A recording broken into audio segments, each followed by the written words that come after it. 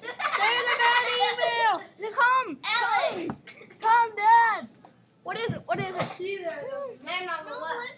Oh wow, that's me. All right, first we let's block it. Stop, Nate.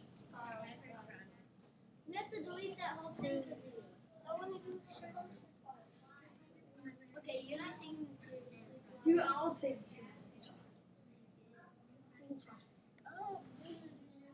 All right, Daniel, don't send any more emails, or else he'll just think it's it's funny and he's actually hurting you. Okay. If you don't send any any more emails, then he'll probably quit. Stand up. You want- have dinner. All right,